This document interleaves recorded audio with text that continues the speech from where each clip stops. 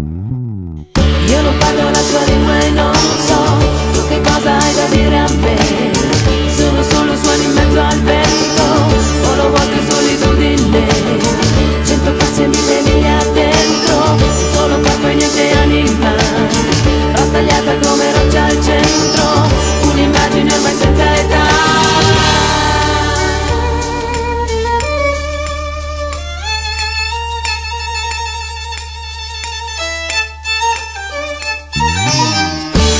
parlo la tua lingua e sento più confusa la mia identità.